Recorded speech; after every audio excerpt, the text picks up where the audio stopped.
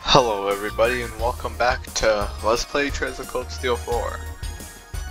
So previously we left off with boarding this fancy elegant ship and we're talking to people around the ship and seeing what's going on. So we're continuing that till we advance in the story.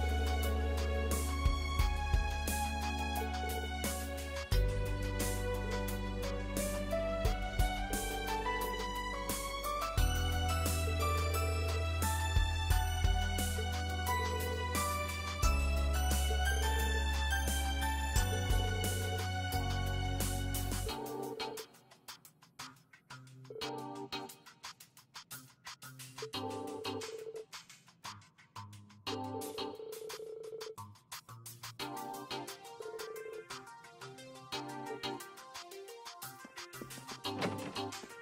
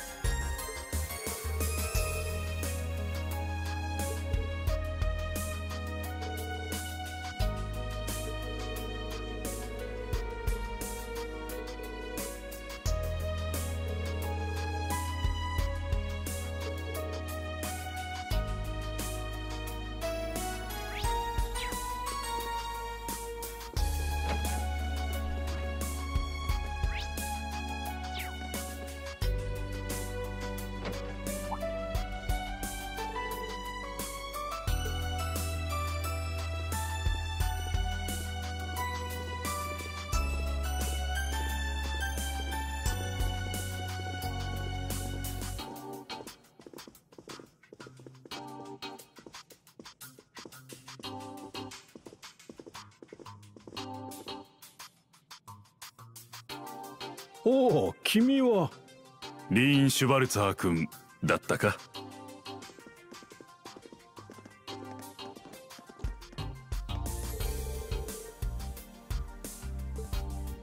ははは。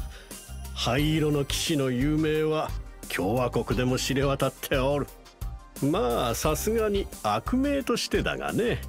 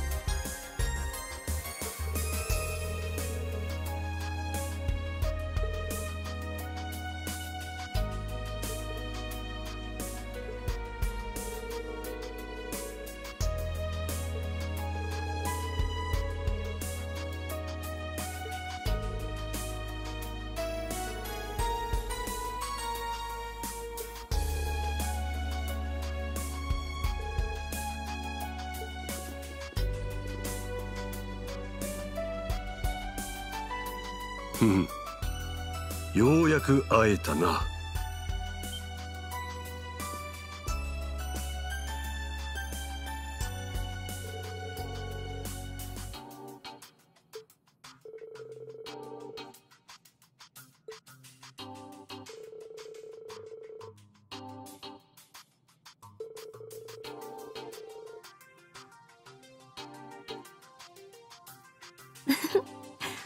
お目にかかれて嬉しいです。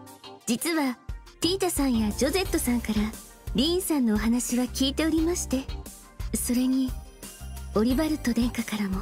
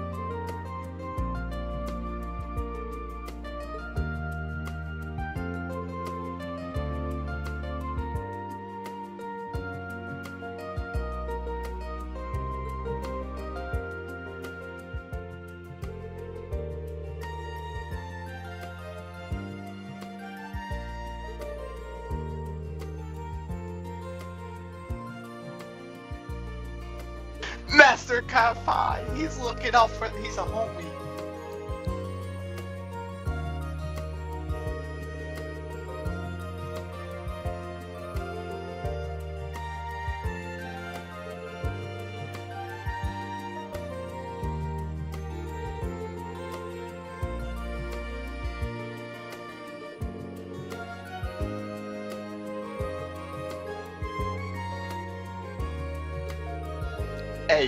So we're gonna get a secret technique soon, I bet. Just wait.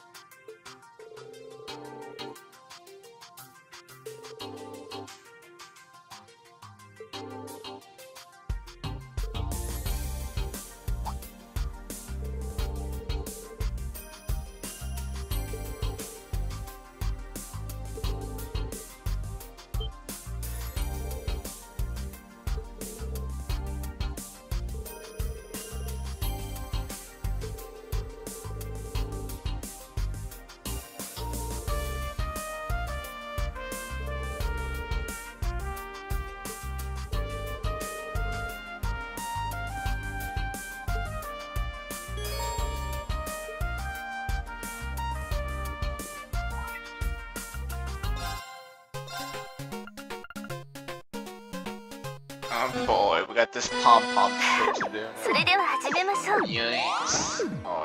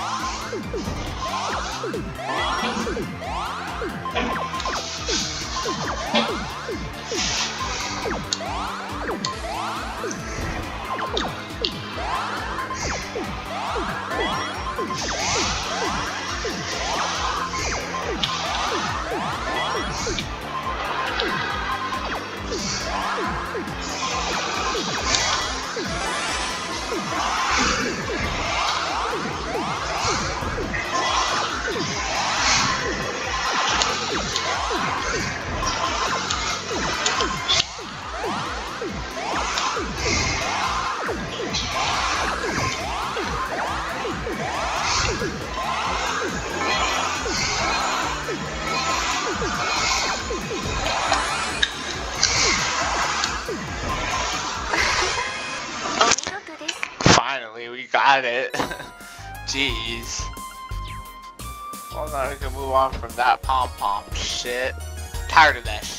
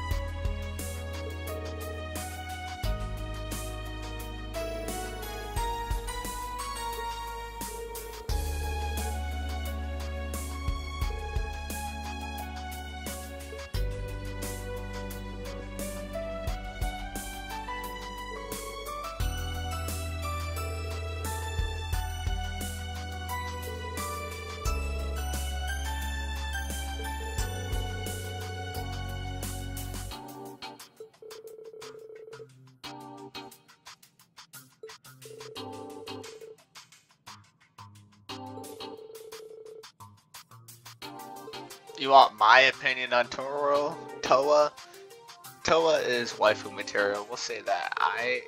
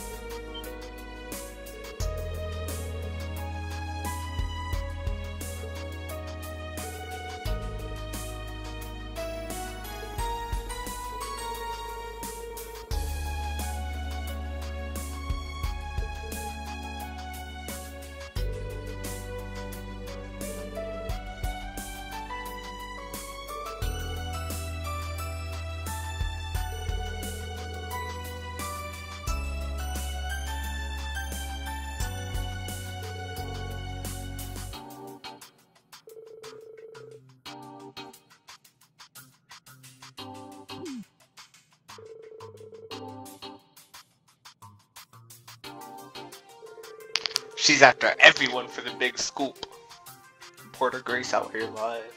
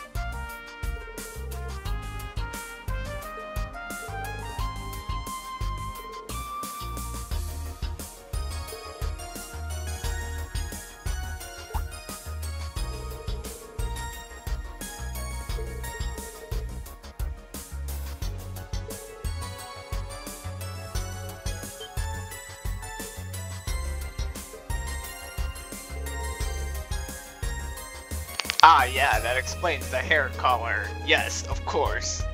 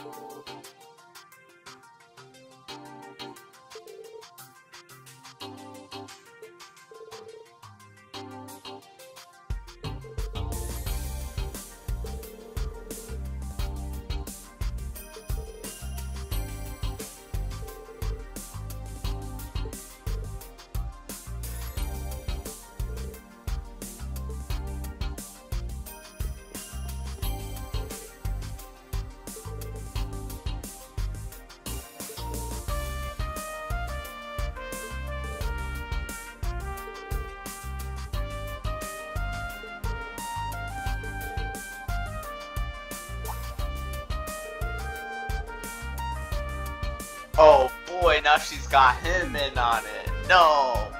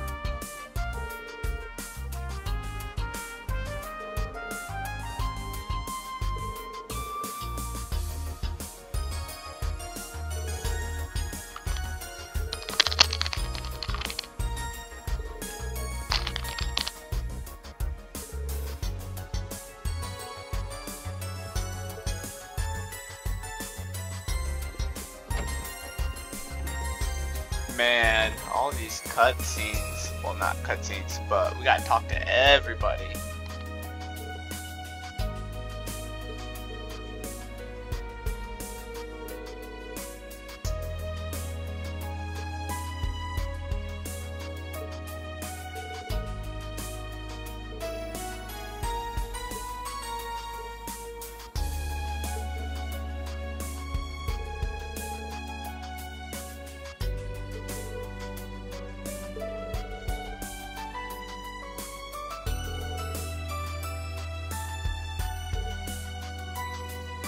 She's like, we both have purple hair. Ah!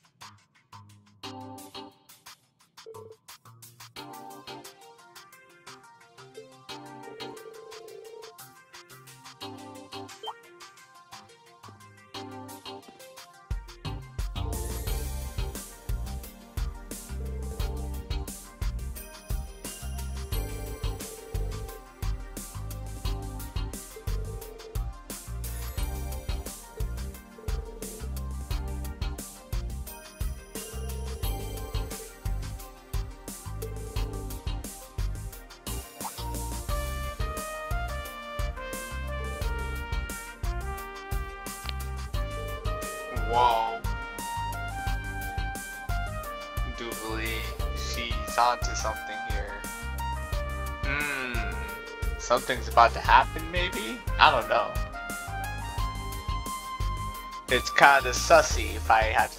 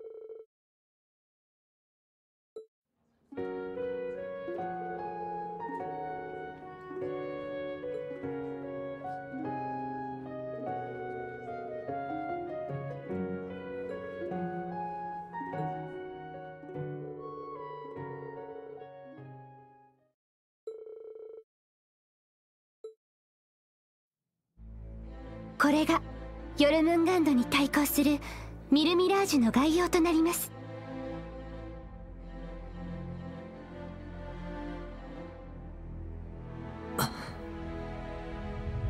やはり。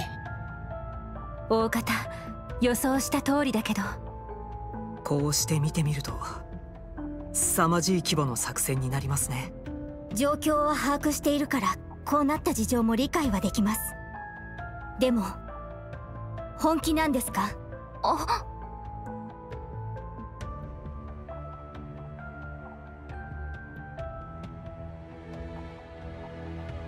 大規模な徴兵によって帝国軍の兵力は激増しています。現時点でおよそ120万。開戦までにもう少し増えるでしょう。対して共和国軍はどんなにかき集めても80万。対抗して徴兵を行うにしても先の選挙で政権自体が不安定だ。加えて兵器の性能差に圧倒的な物流の差もありますね。飛行戦艦や主力戦車の性能差も現時点ではエレボニア側が有利。気候兵軍の存在も大きいでしょう。ええ。ベルヌ社の生産ラインが追いついていないというのもあるけどそれ以上に帝国はこの数年の積み重ねを全て戦争のために投入できる。そうなると2年前の内戦も布石だった可能性があるわけね。ええ間違いないでしょう。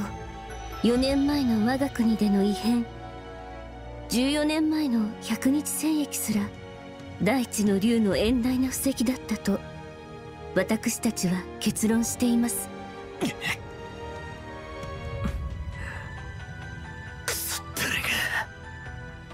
その大地の竜を制するのがミルディーヌ公女の千のかけろ。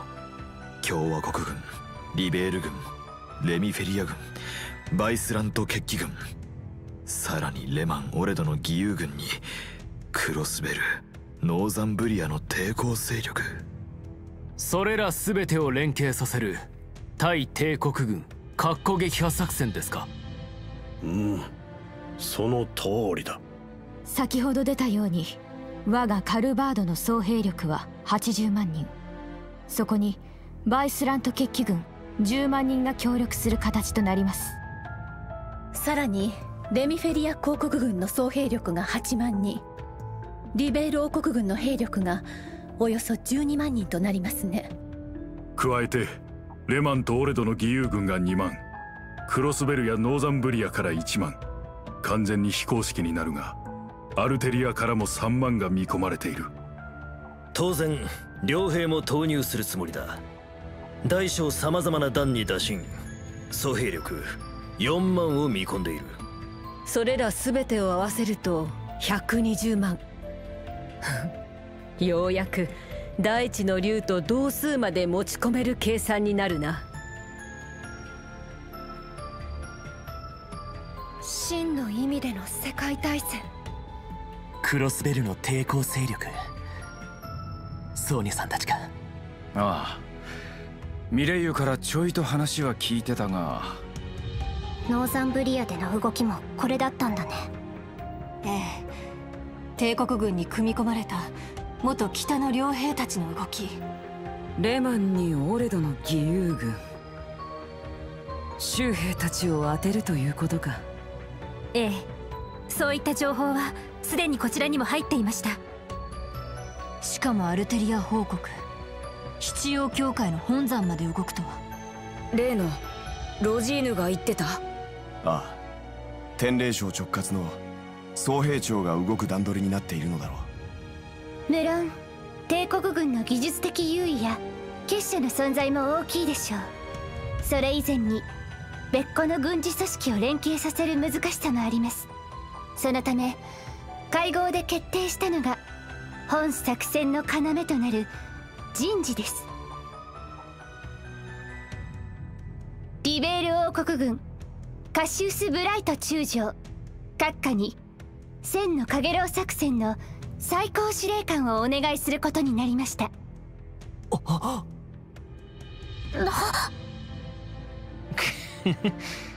凄まじい手を考えやがるな。カシウス・ブライトといえば教団掃討作戦でも総指揮を取った。おまけに過去帝国軍を破った東大最高の軍略家ですか？やっぱりそうなるのか。それを父さんも引き受けたのね。その作戦が何をもたらすのか全部分かった上で。ああ史上最大規模の戦争莫大な数の戦死者に民間人の被害も相当数出るだろう。数十万。場合によっては数百万の犠牲者が出るかもしれん。そんな。うん。そうなっちゃうかも。帝国が一方的に勝つ展開にだけはならなくなるとは思うけど。キーヤ。そう。言うまでもなく最悪と言える選択肢だと思います。ですが共和国侵攻の真の狙いが2つの司法に関係するもの。そして帝国が飲み込んだ地域が呪いに侵されるとなれば話は別です。表と裏の連動。このままでは帝国は共和国を飲み込み全土を呪いで染め上げるだろうそうなれば最後周辺諸国そして大陸全土を飲み込んでいくはずだ。大いなる一だったか。究極の存在を生み出す目的のために。それだけは避けなくてはならない。最悪の選択肢を選んだとしても何よりも世界を終わらせないために。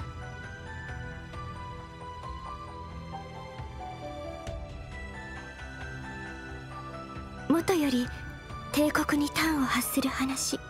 賛成はとてもできませんが皇帝家の人間として了承しました。姫様。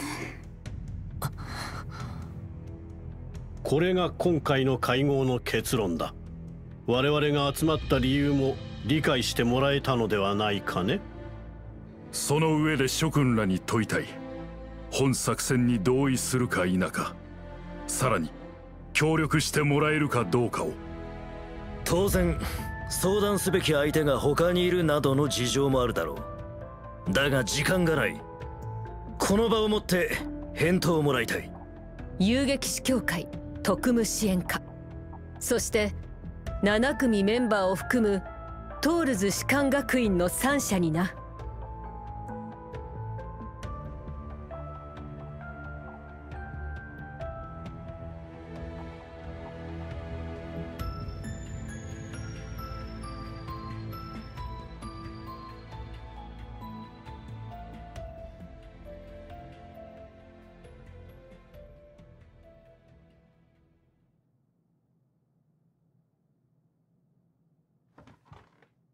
自分たち特務支援課はあくまで旧自治州警察の一部署です。各国の方針に反対できる立場でもなく事態の深刻さも理解しているつもりです。ですが到底作戦には同意はできません。この事態を何とかするための可能性あくまでそれを探っていきたいと思います。いつかクロスベルが自治と独立を堂々と取り戻せるようになるためにも。そうか。遊撃士協会も作戦に同意はできません。私たちは支えるコテ民間人の安全と保護を第一とします。と言っても首脳の皆さんがその結論に至った理由もわかるから。だからレマンソーホームに掛け合って民間人の避難準備はしてもらいます。同時にロイド君たちと同じく私たちなりに他の解決の糸口を探る。それが私たちの意志です。エステルさん。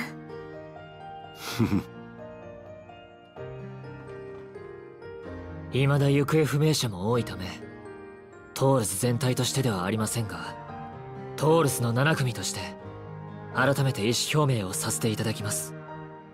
世の礎たれ。思えばその言葉が自分たち全員の根底にずっとありました。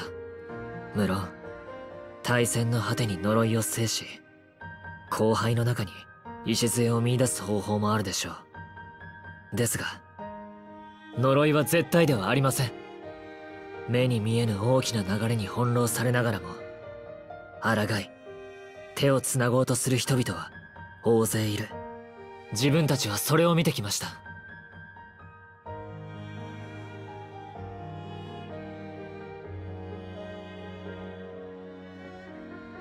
世界にとっての保険は必要でしょう。そちらは千の陽炎にお任せします。ですが自分たちもギルドや支援家同様第三の道を見出したいと思っています。呪いが引き起こした事件への対処そして七の総国にどう向かい合うか。残された時間はあまりに少なく可能性があるかどうかすらわからない。ですが一歩一歩踏みしめつつ前へ。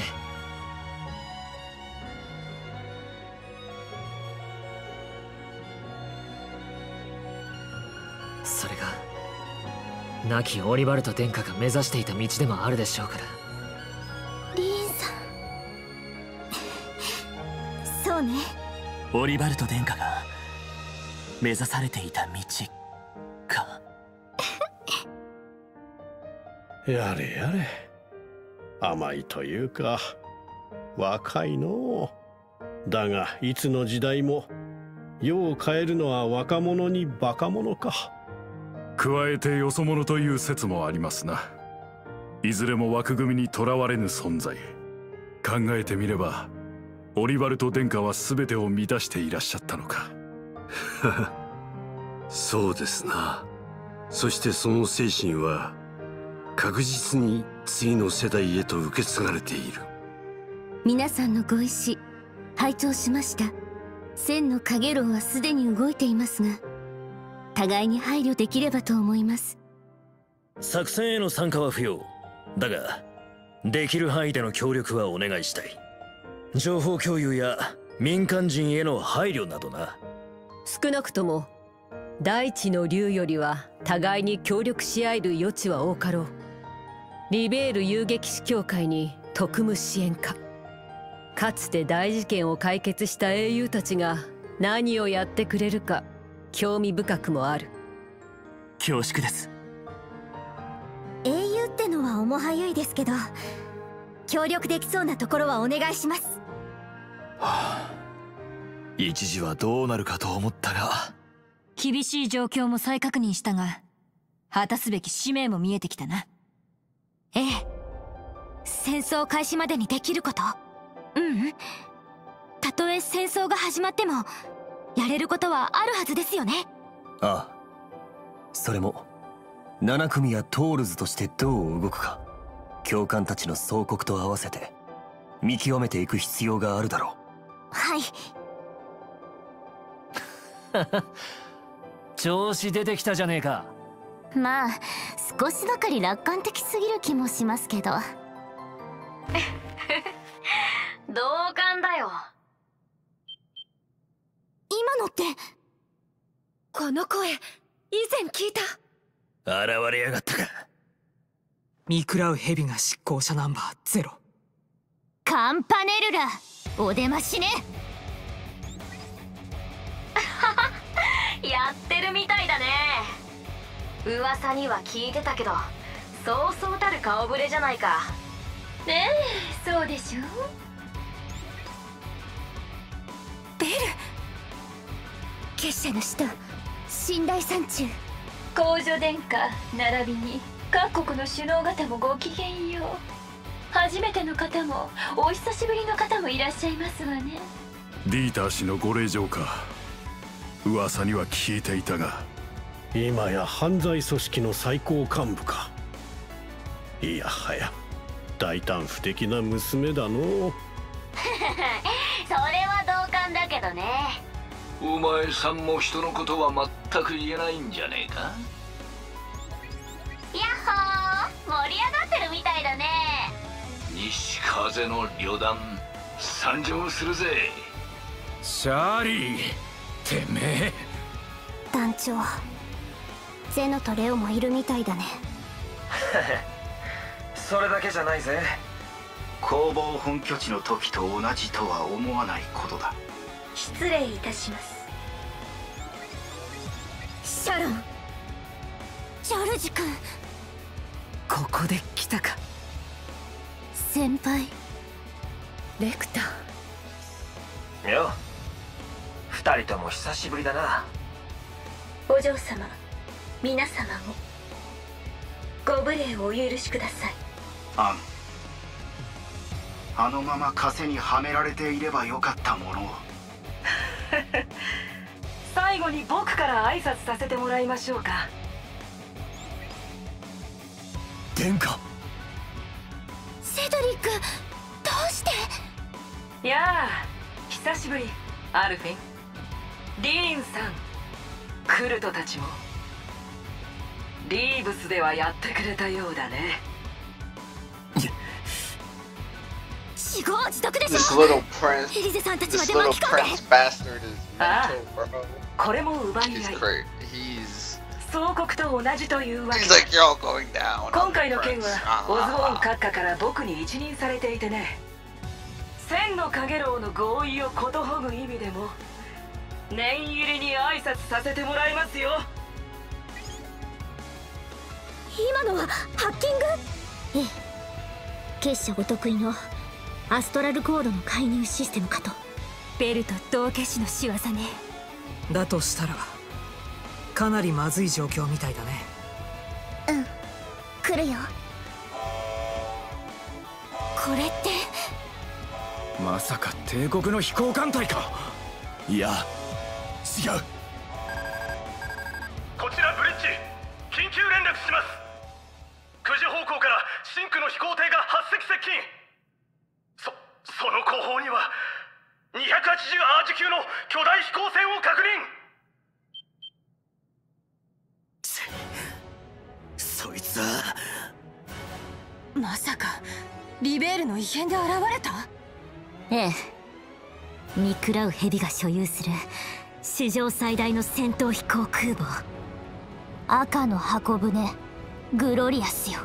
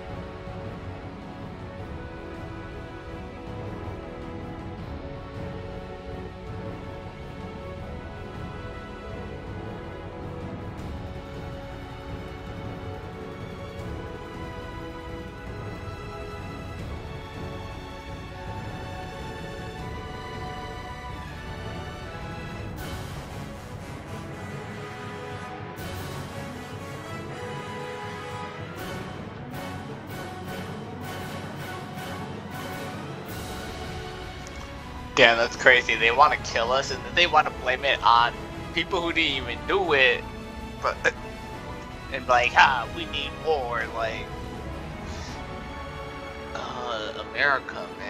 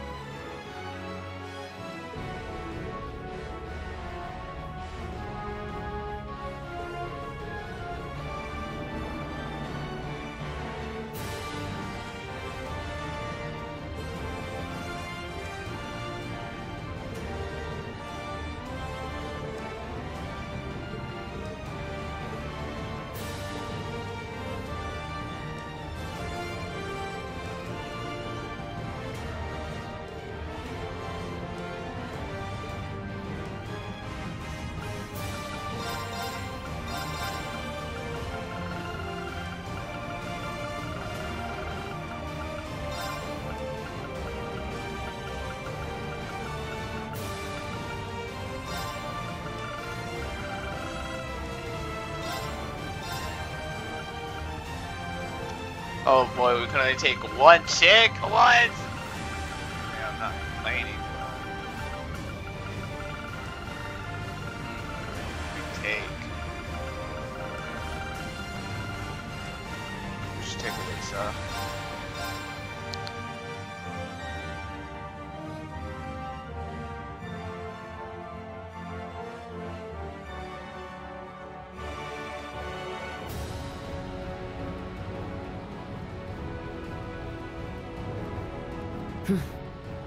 それでは行くとしようか。兄様皆さんご武運を。くれぐれも気をつけてね。ちょちょっと聞いてないんだけど。でもまたとないスクープのチャンス。勝手な行動は慎んでください。エステルたちロイド君たちそれにリーンたちもよろしく頼んだぞ。ええお任せを Yes, sir. We need to fight our way out of here. Let's go. さあ行くとしましょうか現在結社の強化傭兵部隊と赤い星座が突入しているようです星座はやばいな戦撃ってのが出張ってそうだ強化傭兵はギルバートたちか連度はともかく人形兵器は厄介ね。あの程度の小物ごとき返り討ちにして差し上げますわ。アッシュクルト君も改めてよろしく頼む。任せろや。了解です。殿下を止めるためにも。ユーナちゃんアルテナさんも改めてよろしくね。はいエリー先輩。最善を尽くしますそれではこれより三者合同ミッションを開始する。A チームはウゲ B チームはサゲンだ。現在地は仮想後方エリア。それぞれ侵入者を迎撃しつつ上層後方甲板を目指してくれ。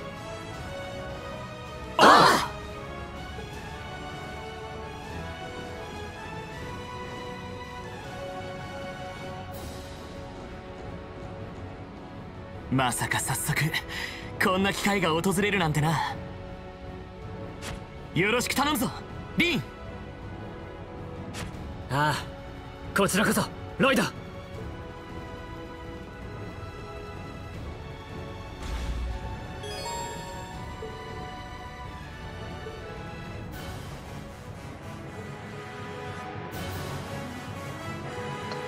Alright, well, that was a lot of cutscenes and talking to people.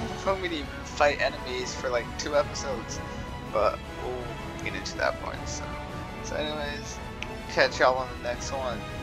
See you in the next episode. Catch y'all on the flip side. Yes. Peace.